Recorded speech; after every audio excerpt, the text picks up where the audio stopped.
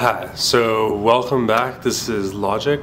Um, today we're doing 6.1 propositional logic. Um, also, I want to apologize. Sorry, some of the video quality has been really poor in the last few sessions, and that's just my fault. So, anyway, um, I'm going to do my best to try to keep it higher quality so you can watch it and it's somewhat you can actually see what you're watching. So in this section we're beginning our chapter on propositional logic.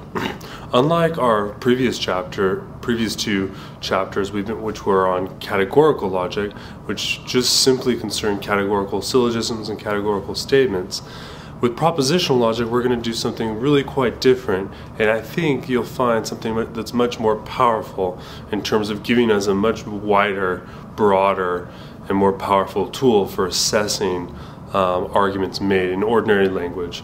Um, but the very key difference that we begin with is that in uh, propositional logic, what we're dealing with is not the core, the atoms, as you might say, the, the, the, the key components we deal with, they're not the terms, right? As they were in categorical logic, but rather we're dealing with entire propositions, whole statements. And what we do in propositional logic is we take a whole statement, say if someone says, for instance, um, cats are better than dogs, instead of saying, making, being concerned with the logical relation between cats and dogs, the classes of cats and dogs as we were in categorical logic, in propositional logic we just say, no, let's just use a symbol for that whole statement, and let's just call it C, right?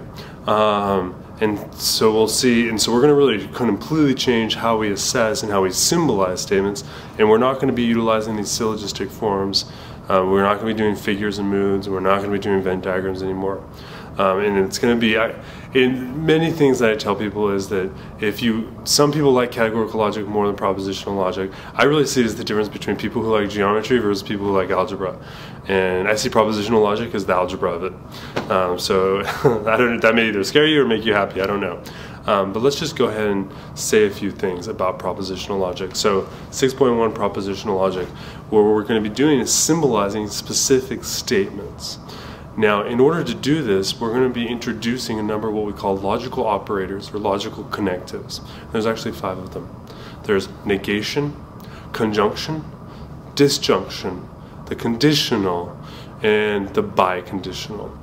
So those are really our five operators, and that's the way in which we combine different statements together, um, or groups of statements, I should say, right? Because, say for instance, I say, um, circuses are wonderful, and then I say, and Joe and Joe loves circuses. We could symbolize that with um, C for circuses are wonderful, and J for Joe loves circuses, right? Um, and actually, those two statements are connected because I said circuses are wonderful and Joe loves circuses. And so, actually, how, how sorry, that's a crazy example, but how we'd symbolize this, we'd say C and J, right? And that's a logical connective where we have our C and we have our J. There's each statements, but here's the logical relation. This is the logical connective, or we might call the logical operator.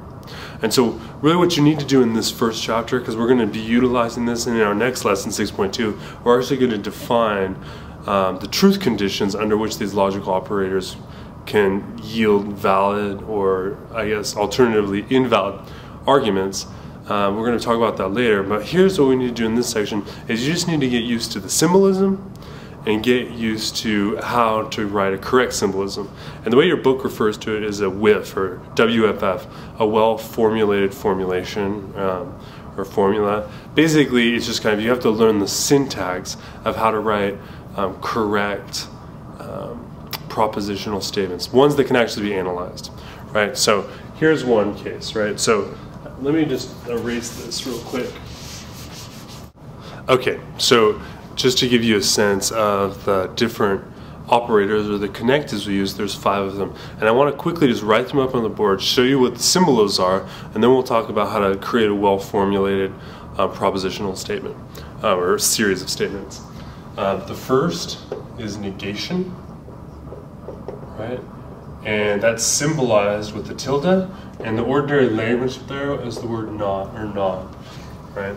And I'll go over these in just a second. The second is called conjunction. And we're symbolizing it with a dot. And for those of you who are, since we're doing it online, it's not everyone's going to have this symbolism in their computer. We're just using a period, but basically just a dot. And the ordinary language for that is and. you're combining statements. The third is called disjunction, and that's symbolized by a lowercase r, right? And it's basically any sort of either or statement. Right. And for those of you who think about this, you'll realize that when we talk about disjunctions, there's really two types of disjunction. There's the inclusive disjunction and the exclusive disjunction. Inclusive disjunction means um, either or, but possibly both. Exclusive really means either or, but not both. Uh, in terms of what we're doing in propositional logic, um, the disjunction here is inclusive, so it can mean both. Um, the fourth is the conditional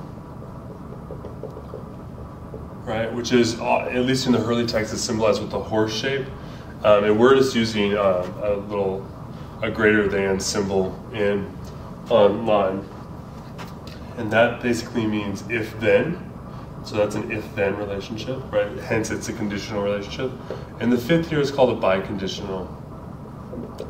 In some cases, the material biconditional. And that's symbolized by a triple bar um, and because we're doing it online, we're going to be using an equal symbol. Here, I'll put the greater than symbol there. Um, and this means um, if and only if.